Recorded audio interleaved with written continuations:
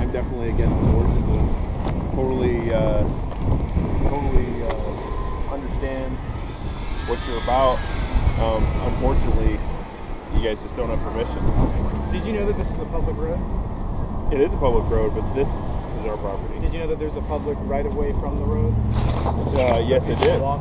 Uh, but this is, you're not walking, you're distributing literature. Right. You can exercise your First Amendment rights and petition on uh, public right of way. Okay, but This is a public right of way. five minute, five feet from the road. It's 10 feet from the road. But um, also, is that on a day like this where you're opening up your church for a public uh, event, the law prohibits from 300 feet away from the location that not on your property. Uh, Well, Well, no, I mean this this is our property. This is part of our property. Yes, but you're, you're ignoring the fact that there is a public right-of-way easement Okay. on your road. And it, I mean, unless you want to pull it up, if you want to call the police, I mean, I see public utilities right there going up to you further than what we are. I see them right about here is where the public utility is. So I would encourage you to reconsider that, and I would also encourage you to um, reconsider why you are asking fellow brothers and Yes. sisters in Christ to get off your property. Yes. When all we're trying to do is stand up for the millions of children who are murdered on this. Yes. Uh, Listen, I, like I said, I agree with I, I agree with uh, with your uh, your purpose. Would you sign our petition then? Uh, no, I can't do that. I, I can't. Why can't you do that? Um, it would be a conflict of interest What are For- you talking about? How would that be a conflict? because I work here. This is my job, and for me to come up here and kind of Hello, sir. here's, here's now the issue. Here's now the issue. You have people trying to get in and out, and there's and you have you're stopping traffic. Well, you know, it is illegal to block traffic, and I don't think you block traffic and leave that car back. Yeah, we get complaints about. Uh oh. You didn't ask anybody who they voted for, did you? No. No. Okay. They said they're getting complaints about. We're just getting complaints. That's funny. That Just is- asking people if they drive up there on a sign the petition to end abortion. Okay. That's about it. Alrighty. You want to sign it? Can't do anything while I'm on the Here, let me at least give you one of these. Just read it when you're on. And then if you decide, you can sign the petition on that website. Okay. Thank you, officer. Yeah. You guys have a good day. It's windy. Oh, I It's know. freezing. It's a windy state. I was thinking about that. You have a good one, sir. Yeah, Thank you you. guys have a good day. Thank you. That thing will hang you. Wire from something. All right, guys. Have a good day. Bye.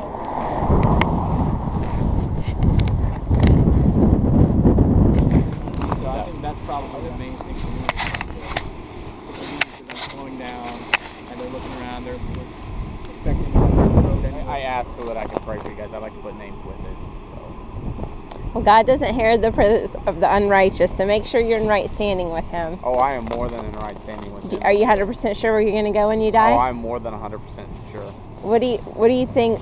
What do you base your salvation on? My salvation is Yes. based on my daily walk with Christ. It's based on my baptism. is based on my intimate relationship with my Lord and Savior Jesus Christ. That same thing that I teach to my kids, the same thing that I teach them about how we interact with the community. The fact that there are more problems inside of our society right now other than abortion, such as people's addiction to pornography, such as things that we have problems with on the internet, other people's addictions, people's inability to remove themselves from the current society's life that they have and go back to the roots of the foundation with their relationship with God. Do you believe And you're a good person? I believe that I am a great person, but I believe that I am a sinner.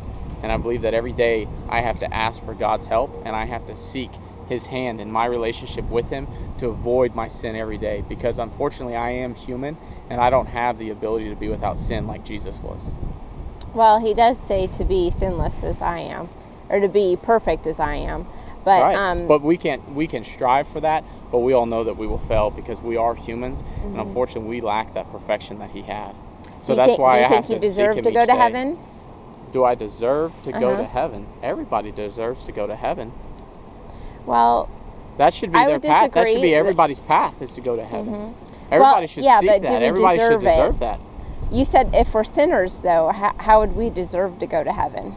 Well, because we seek that relationship with Christ, and, and even though we've sinned, we can still repent our sins. Do you believe you've kept the Ten Commandments? Oh, yes. Have you ever told a lie? So you want to engage in my personal relationship with Well, I'm just asking you Well, if have you've you, ever told a lie. I have told a lie. Okay.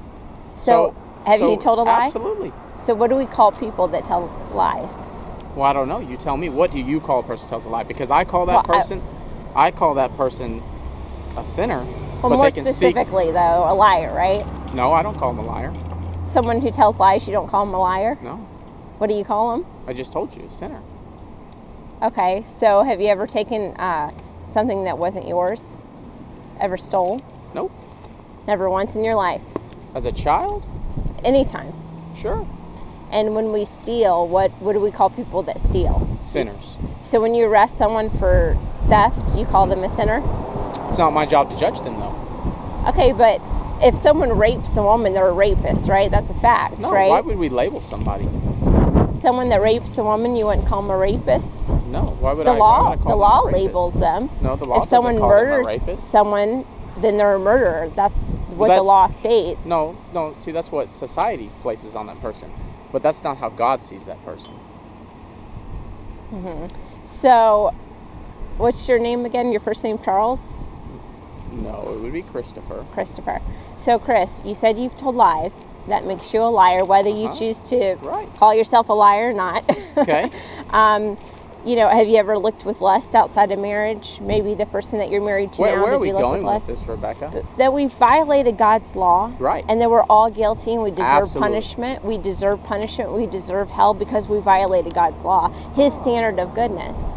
And man will profess his own goodness, and it sounds like that's kind of like what you're doing. You're saying you've never broken God's commandments, that you're a great person, no, that you, you, deserve you to go I've to never broken His commandments. I, no, you, you're you're. I you're asked you if you wrong. had kept the Ten Commandments, and you said yes. Okay, so what you're telling me is that because someone commits a sin, they go Mhm. to hell. That's what we deserve. Yes, it doesn't mean that's where they're going, but Okay, that's where we so deserve someone, to so, go. so so people can't people can't repent and, and seek They- the, the they- mercy of Christ. Sure, they can, and we encourage them to do that to repent But- and trust in Christ. Uh huh. But it doesn't mean that we then deserve to go to heaven. It just means that God has provided a way Do for us to go purgatory? to heaven. No, I don't. Okay. The Bible doesn't teach anything about purgatory. It teaches about heaven and Oh, hell. goodness. Is there a scripture verse that you can cite that talks about Rebecca, purgatory? Goodness, you, you know what? You guys, I, Rebecca, this is silly. But This can you can you cite me a scripture that that talks about purgatory? What do you, why do you want me to cite you a scripture about? Because you're believing in something 100% and you're Yes. not you're not even Oh, but you, but Rebecca, there's so much more than what you've been taught, here. Well, do you believe what the Bible teaches? Yes. Okay, it says that all liars will not have their part in the lake that burns with fire. No thief, no fornicator, no adulterer Mm-hmm. will inherit the kingdom of God. And I'm concerned for your soul. I don't want you to die well, and then- go to well hell. then, then pray for me as I pray for you, because if if your viewpoint is that when someone commits a sin, that they're destined for hell. They deserve hell. Not that they're destined for hell, they deserve hell. Okay. Just like someone who murders someone, they deserve to go to prison. You know, they deserve to get the just punishment for the crime that they committed. We, we have very different religious beliefs than Rebecca. well, We I would really agree do. with And- you. And, I, I, and you're not going to pivot my standpoint on it. You started this conversation with asking where I stand out of my relationship with Christ and why I believe that, and I told you. And unfortunately, I'm not going to engage in the whole "no, you're wrong about your relationship with Christ" because I'm I'm confident in my relationship with Him and where I'm at, and and there's nothing. But I just want to challenge you because in the Bible it says to examine ourselves daily to make sure that we're in the faith. Yeah. And we want to make sure we don't want to play Russian Absolutely. roulette well, you with know, our that, soul. That ex- uh, examination should be done not just daily, but throughout the entire day. So, and every step that we take, we should have that examination. right, We should have that examination in our engagement Right. with I mean, I- while we drive down the road, it I should, would it should agree. take part every moment of every Right. day, It shouldn't not just be on the end of the Sundays, but yeah, every well, not single not day. just not only right. Sundays, but not just at the end of the day. Right. I would but agree with you. every step that we make. Right. Can I To- say something honestly? Um, Yeah. so I do think there's some miscommunication going on about sin and hmm you know she's saying that people deserve hell if they've Mhm. sinned and you seem to be interpreting oh if you sin you go to hell and there's no chance for forgiveness i think we agree on that that Right. everybody sins and, and that, therefore everybody deserves hell um, and there's forgiveness Right. in christ Uh-huh. um, but i think the disagreement is coming with or at least from what i've heard from what i've heard you say Mhm. is that there's some things that you feel are necessary in one's relationship with Christ um, that are substantive, that are foundational, um, that we don't have, and that isn't talked about in Scripture. And so we're very weary of things that aren't talked about in Scripture and prescribed to God's people in Scripture, such as praying to someone other than God, Mhm. um, such as um, purgatory, believing in things that Mhm. are, are not clearly spoken of taught in the, in the Unscriptural, Bible. Um, but yeah, particularly the thing I would encourage you to do is find out why you're praying to someone other than Jesus oh, I know, Christ. I know very well why I utilize Yeah. the saints and my intercessions and my prayers through them. Yeah. So because because we know right that they they're in worshiping heaven. Jesus Christ. Right now, they're all they're doing is worshiping and serving Jesus Christ. Yeah. They are dead, and Yeah. Jesus Christ is alive, and um, He is the one we are supposed to make our supplications to. You don't see anybody praying to anybody Well, in see, Scripture. see, that's where that's Jesus see, that's where you God. you have a little bit of misunderstanding of that. Okay. Where, where do we see that? Well, you, you're you're saying that you're you're praying to them. Okay. You just said that. You said, yeah, it's intercessions through you- them. So Right. we know that they're in communion with Christ. We know that they're in heaven. So, I mean, do you not ever call your mom and ask for help? Or call your dad and ask Yes, for but help? they're alive. Or do you ever do you ever ask someone to pray for you? Yes, but they're alive. Okay. So not- so you don't believe dead. that they're in communion with Christ? I believe they're in communion Okay, with Christ. so- so why- That but- doesn't mean that I, I can. And that's where I disagree. So where do you see? Where, what would you consider divination in the Old Testament, where it says you can be put to death for speaking to dead people, So trying to make contact with the dead? so so so Where they the because they are in heaven and we know that they're in heaven with Christ. Mhm. You don't believe that we can engage in prayer with them. Right. I don't think you can. I don't think God ever teaches that you can speak to somebody who's dead. Okay. He says you can speak to Him. Okay. and his, his son Jesus Christ was dead Sure. and was resurrected and you see people in the New Oh. Testament praying to Jesus Christ because he's God Hmm. mean, he's the son of God and he's the resurrected king Wow. and he's our king right now and he's Yeah. ruling and reigning Sure. but you never ever see someone speaking to a dead person and practicing medium like that those Oh. are mediums in the Well, Old you're, Testament you're missing out on so much awesome stuff. it, then. it's but it's sin. The Okay. awesome stuff you're Well, talking that's- about is, is sin, and it's called divination. Okay. And it's called um, sorcery. and in and, and, and that Testament, is going to be your belief and dead standpoint on that, and I disagree with you. Well, I mean, I But I think you you're- to But there's only one truth. you're you're not gonna you're not, not gonna sway Well, I mean, me how, on what, this. I, I would just like to Okay. what what's the difference you see then between you praying to somebody who's dead and somebody in the Old Testament praying to someone who is dead?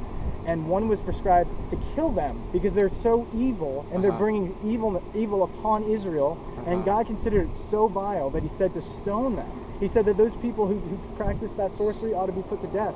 What's the difference you see between that kind of talking to dead people and what you, you practice? Okay, so I just want to know the difference. the, the there's a there's a big difference, man. Okay. We we already said that they're saints in their communion with Christ. But the, the Old Testament made no distinction about who you're praying Okay. to. It just said that you're praying to a dead person. okay, but see that's just it. I'm, I disagree with you. About Okay. what? I just Every bit about what? The Old Testament is very clear. If you pray to a dead person, it doesn't say Matt, if you pray to an evil dead you person. you want me to engage in, in confrontation once again? You don't have an answer. No, I do. I already answered it three times. You want You me? said, well, you want me to change saints. my answer, You Matt? said but they're saints. no, Matt. You want me to change my answer? Okay. It's not going to happen. The Old Testament makes no distinction between saints and uh, evil people. You can't pray to either of them. Do you have a Christian background? What's that? Do you have a Christian background? I do. Do you believe what the Bible says is true? I do. Do you believe you're going to go to heaven when you die, or where do you believe you're going to go?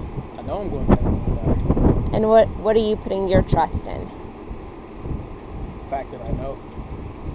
Well, even the demons know and tremble, the Bible says, You're because they fear right. God, You're right. but they're not going to heaven. So it takes You're more than just knowledge. Okay. So what are you basing your salvation on? Like if here's another way to say it. Like if you were to die today and stand before God, and God were to say, uh, "Mr. Ellis, why should I let you into my heaven?" Well, what he would say is, he would say, "Well done, that good and faithful servant," hmm because I know that my soul is in right standing. She's asking, well, how do you know that? Like, I know. Yeah. Uh, What? What? The reason I'm choosing not to answer that question is because your your your ask is a very confrontational ask, and maybe I'm misunderstood in that, but it is a very confrontational position that you're asking because it's asking from a position of you assuming that I don't know. And that Well, that if someone were me- to ask explain, me- let me explain Yes. because you asked me the question, okay? And so the reason I'm saying that, I can tell you with all confidence that I know because I've searched the scriptures because I know. Period. if you had a best friend though that said, "How do I get to heaven?" What would you tell him? I would explain it to him exactly according with the word of God.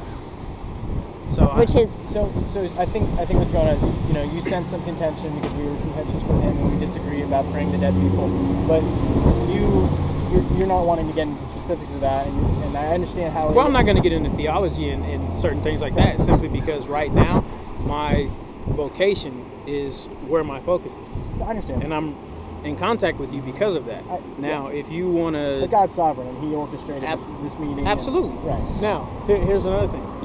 When you take the position that certain things are wrong and just one specific aspect of what people do is wrong, and you have that position, that's all fine and good to, to be a champion for that. The problem I have is we are all sinners.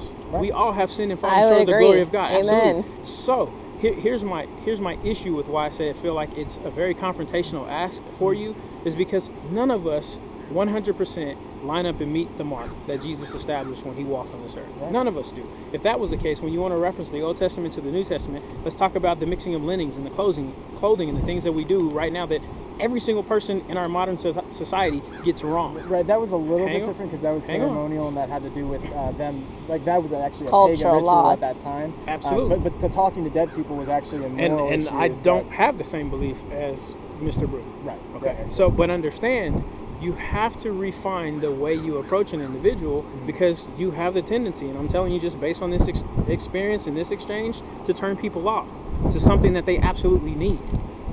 To so the truth all I'm that they asking actually. is where you were going to go when you die. And I answered the question. I told Right, you that right, I but you gotta- definitively know for sure that I'm going to heaven. You gotta that my soul is going to rest in heaven. You what you have to understand, understand is when you want to champion people for, for Christ Mm. and you want to promote the kingdom and establish it here on the earth the way we are mandated to do, Uh-huh. you have to do it in a position that is not confrontational. Because when it, it comes off as confrontational, it leaves a bad taste in people's Do you think mouth. Jesus was confrontational? I think when he needed to be, he absolutely was. Right, right. I don't think at all times his forefront, the, the, the position that he put forward, was a confrontational one. Right, you remember the rich young ruler came to him and asked how he could receive eternal life.